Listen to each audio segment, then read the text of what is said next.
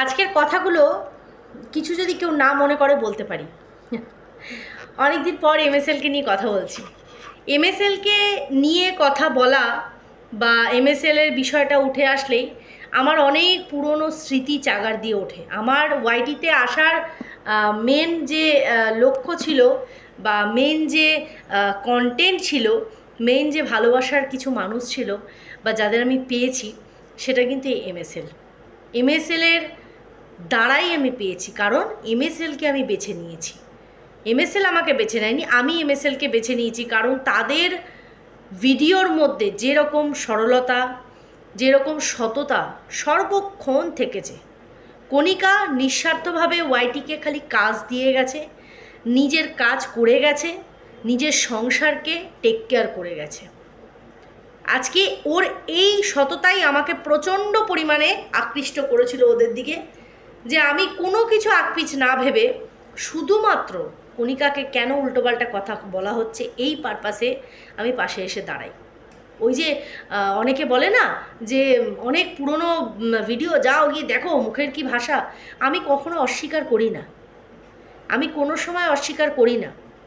আমি অন লাইভে উঠেও বলেছি যে কেউ কাউকে আমরা বলতে ছাড়িনি, কিন্তু কেন বলেছি?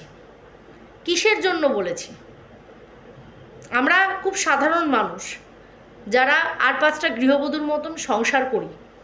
আমাদের একমাত্র হাতিয়ার আমাদের এই মুখটা, যার দ্বারা চেষ্টা করেছি, যতটুকু করা যায় করেছি।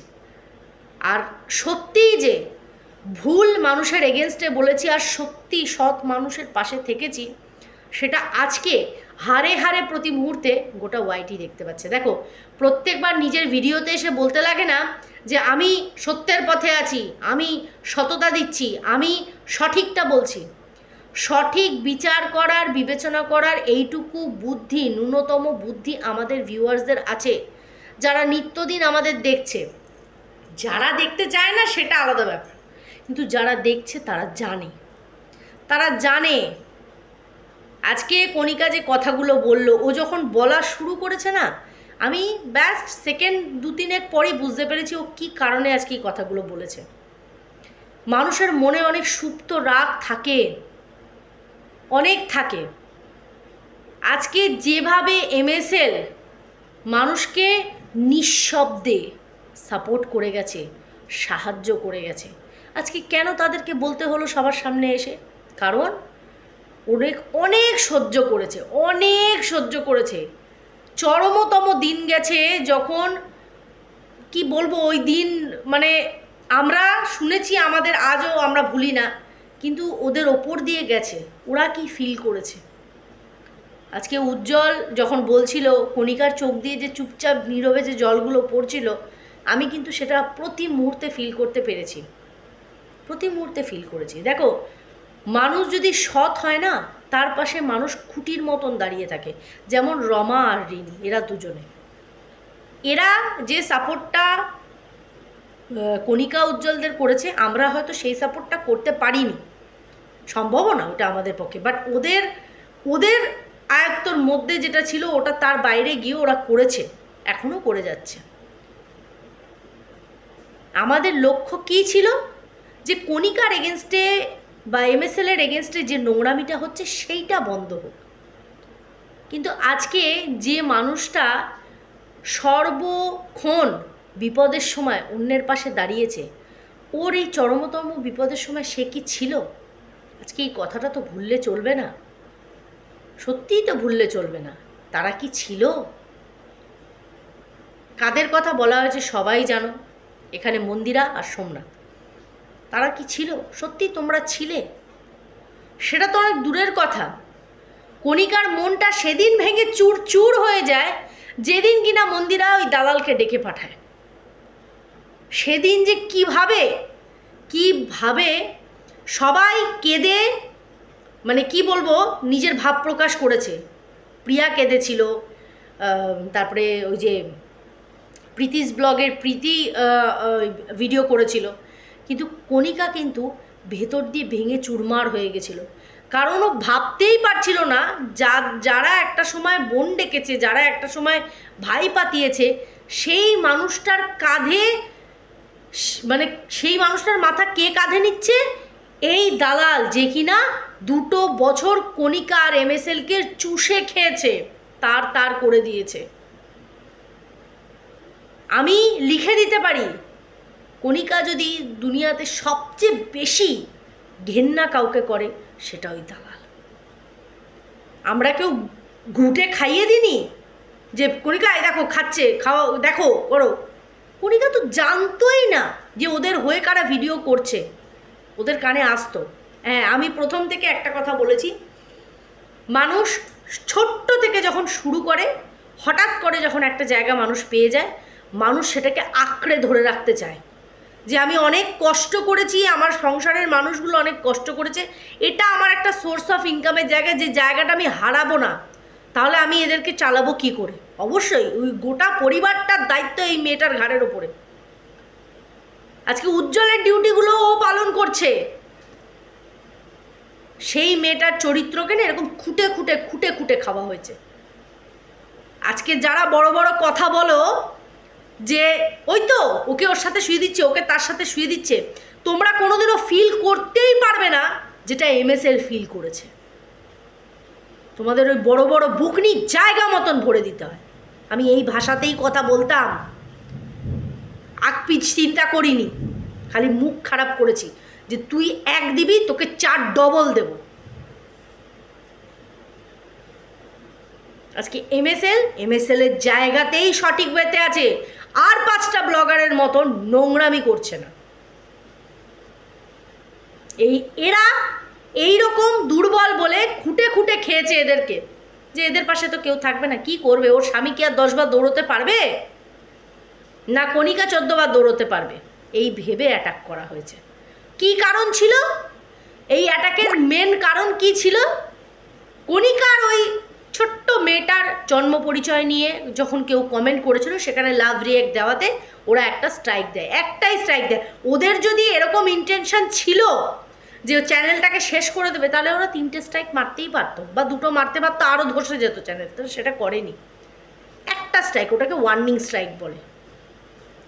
যেটা বোঝানোর যে তুমি যে কাজটা করছ, ঠিক করছ না। আজকে তোমরা চিৎকার করে করে বলো, ওর সন্তানহীনতার জায়গায় বলো, অবশ্যই খারাপ।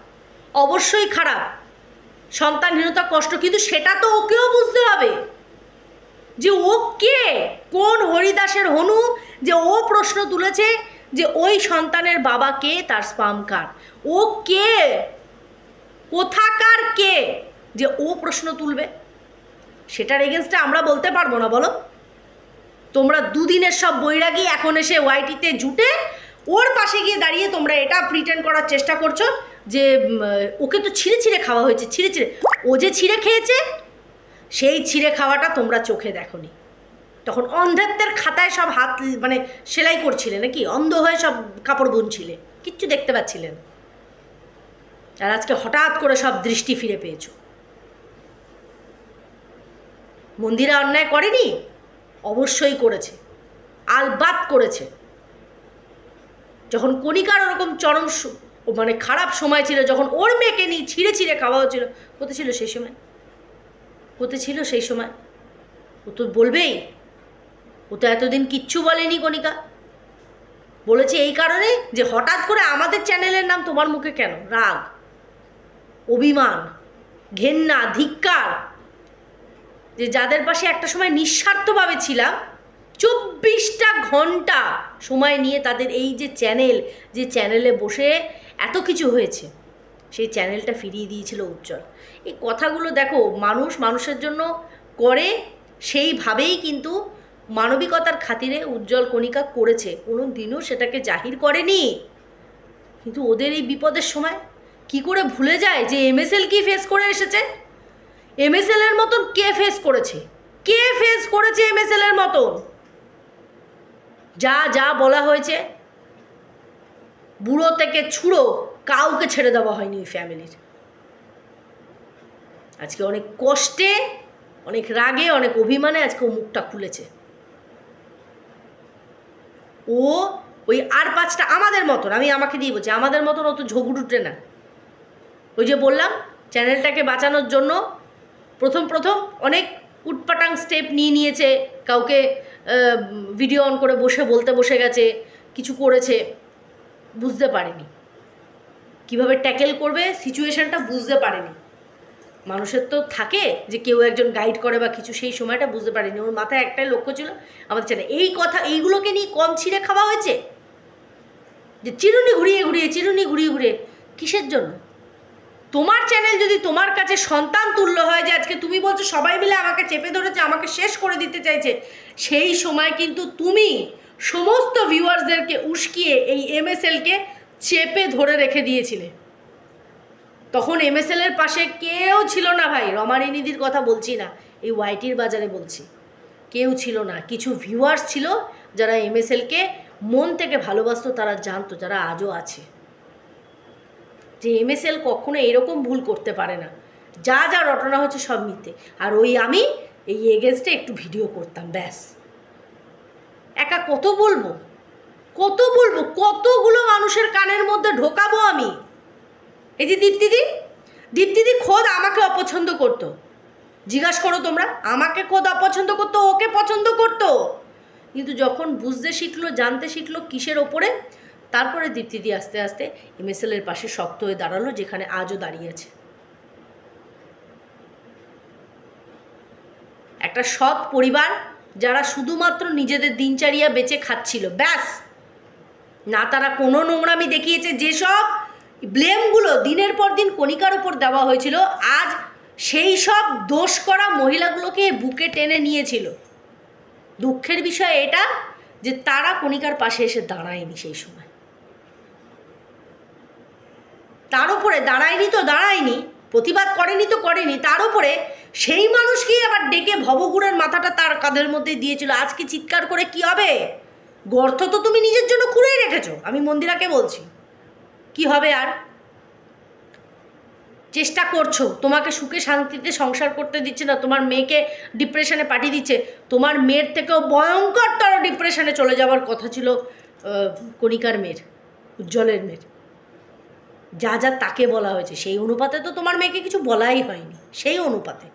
যা ওই পুচকেটাকে শুনতে হয়েছে।